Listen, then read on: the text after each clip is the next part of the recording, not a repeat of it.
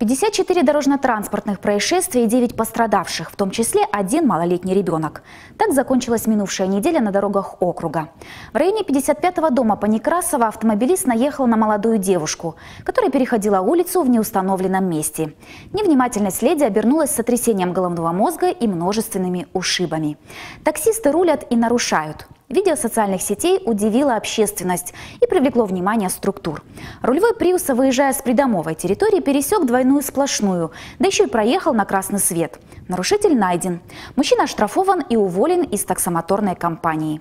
И снова в сводке происшествий таксист. Извозчик не уступил дорогу встречному транспорту на нерегулируемом перекрестке. Оба водителя отделались испугом и небольшими вмятинами на автомобилях.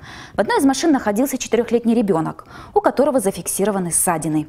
Две аварии с разницей в несколько часов произошли на проселочной дороге Уссурийск-Корфовка. В первой столкнулись мини-трактор и Nissan. Оба транспортных средства двигались в попутном направлении. Водитель спецтехники не пропустил обгоняющее авто. В итоге у автомобилиста диагностировано сотрясение головного мозга и травмы лица. Тракторист отделался испугом. А во второй аварии одна пострадавшая, она же виновница. Автоледи двигалась на большой скорости и не справилась с управлением. Машина оказалась на крыше в кювете.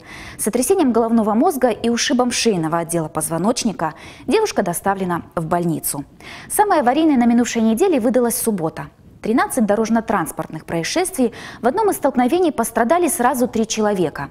Водитель «Тойоты» при повороте налево на Ленинградской в районе 27-го дома не пропустил еще одну «Тойоту», чем спровоцировал сильнейшее ДТП. Одна из машин вылетела на тротуарную зону. У виновника аварии перелом основания черепа, бедра и ребра. Во второй машине автомобилист и пассажир получили сильные ушибы.